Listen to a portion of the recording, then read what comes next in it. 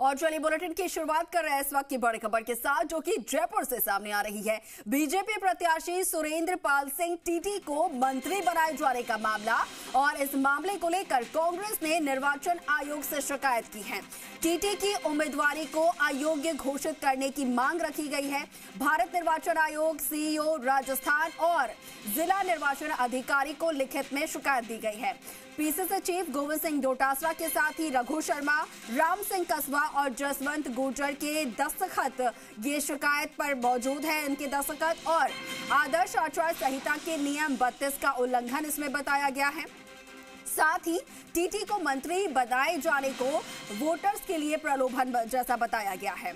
आपको बता दें भारत निर्वाचन आयोग से इस मामले में कार्रवाई की मांग की गई है। और इस खबर पर ज़्यादा जानकारी के साथ सहयोगी शशि मोहन हमारे साथ फ़ोन पर जुड़ गए हैं। शशि कल से जब से टीटी ने शपथ ग्रहण की थी उसके बाद से डोटासरा जो है पूरी तरीके से मुखर होकर आवाज़ उठा रहे थे। अब लिखित में शिकायत भी दे दी गई है। अंकुर आवाज़ तो कांग्रेस पार्टी ने उठाई है प्रभावी तरीके से। भारत निर्वाचन आयोग को शिकायत की है।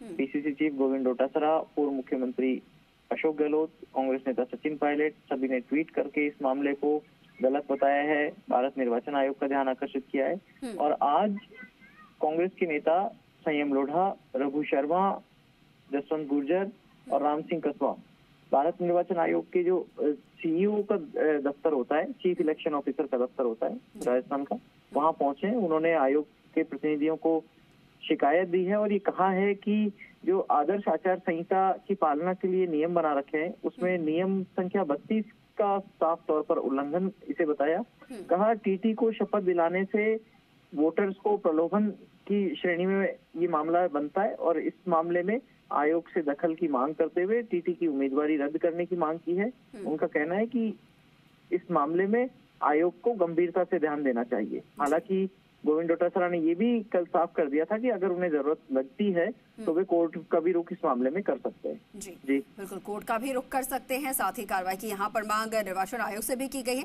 इसके साथ ही शशि दूसरी तरफ़ अगर बीजेपी का देखे जिसने बीजेपी ने इतना बड़ा यहाँ पर कदम उठाया कि चुनाव से पहले ही मंत्री पद की शपथ दिलवा दी बीजेपी की तरफ़ से क्या कुछ कहना है इसको लेकर?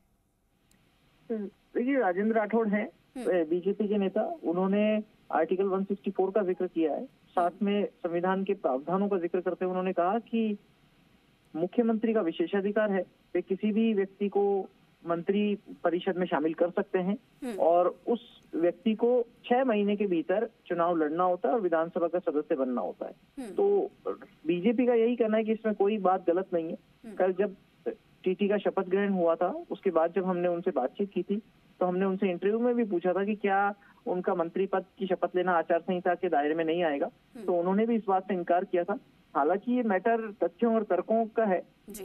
दोनों पक्षों के अपने अपने तर्क हैं हम्म। एक संवैधानिक अनुच्छेदों का हवाला दे रहा है एक पक्ष दूसरा पक्ष आदर्श आचार संहिता के क्लॉज का हवाला दे रहा है हम्म। तो दोनों पक्षों को सुनकर के भारत निर्वाचन आयोग देखते हैं क्या फैसला करता है हालाँकि आयोग के पास में शिकायत पहुँची है सीईओ प्रवीण गुप्ता की कल तबीयत खराब हो गई थी वो एसएमएस में भर्ती हुए थे आज उनकी तबियत में सुधार है।